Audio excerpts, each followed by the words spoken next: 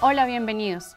Hoy vamos a trabajar con las unidades de longitud, porque cuando necesitamos hablar del largo, el ancho, la altura o distancia, no basta con escribir o nombrar el número. Este debe ir acompañado por una unidad de longitud. Por ejemplo, yo mido 1,62 metros. La distancia de mi casa al trabajo es aproximadamente 9 kilómetros.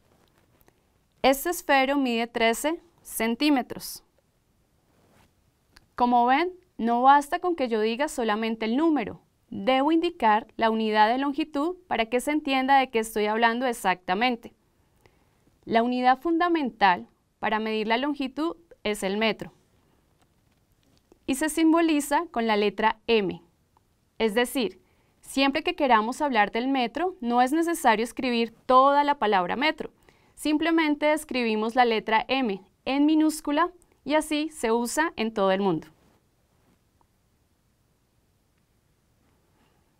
Y los elementos más usados para medir longitudes son la regla, en este caso he traído la mía,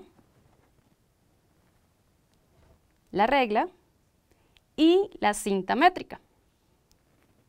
Aquí también traje la cinta métrica de mi casa.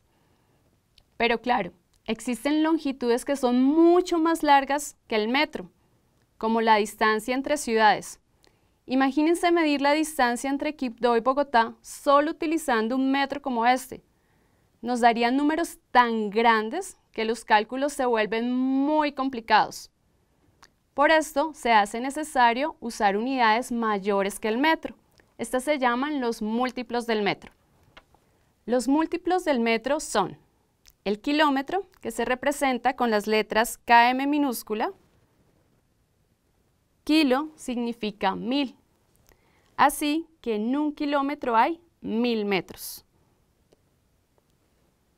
Hectómetro, que se representa con las letras HM minúscula. Hecto significa 100 y en un hectómetro hay 100 metros. Decámetro, que se representa con las letras D a M minúscula. Deca significa 10 y en un decámetro hay 10 metros.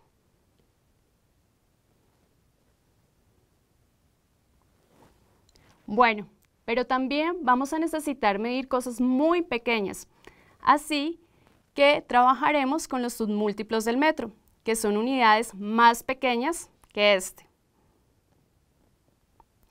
Los submúltiplos del metro son el decímetro, que es la décima parte del metro.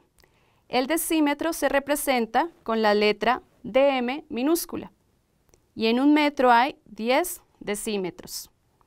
El centímetro, que es la centésima parte del metro, se representa con las letras CM minúscula en un metro hay 100 centímetros y el milímetro, que es la milésima parte del metro, se representa con las letras M y M minúscula.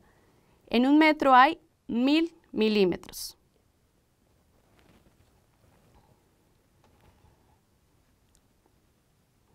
Bueno, ahora hemos traído la imagen de una regla de 10 centímetros. Aquí estamos marcando un decímetro. Esto quiere decir que un decímetro es equivalente a 10 centímetros. Siempre que nosotros vemos estos números en la regla, estos números son los centímetros. Aquí hemos marcado un centímetro. Veamos los centímetros con más detalle. Aquí, en esta regla, vamos a marcar 3 centímetros. Siempre que vamos a medir, es importante que recuerden que debemos medir desde el número cero. Aquí estamos midiendo 3 centímetros.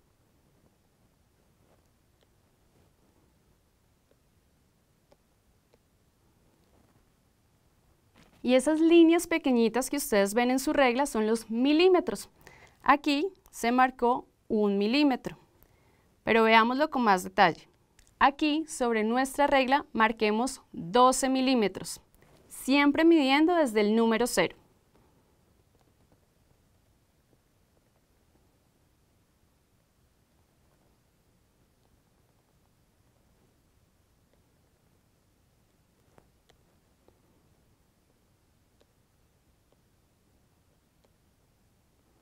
doce milímetros. Ahora veamos las siguientes imágenes y pensemos si las longitudes miden más o miden menos de un metro en la vida real. Comencemos. Nuestra primera imagen nos muestra una carretera. Aquí la longitud de la carretera mide más de un metro.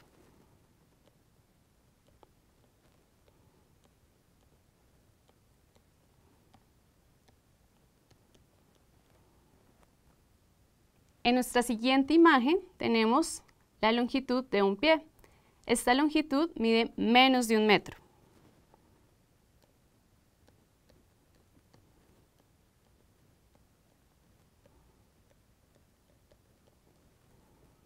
Y nuestra última imagen, la longitud de una pulga. Esta mide menos de un metro.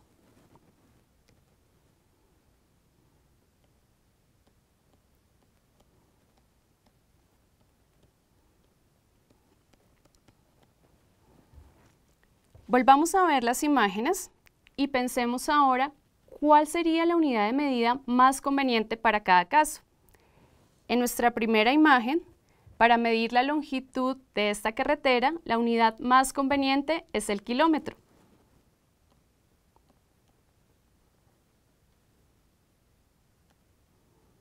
Para medir la longitud del pie, la unidad más conveniente es el centímetro.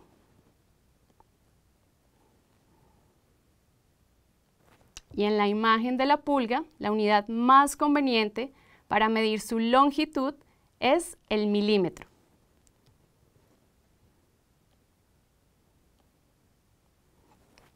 Bueno, los invito ahora a realizar las actividades de su guía.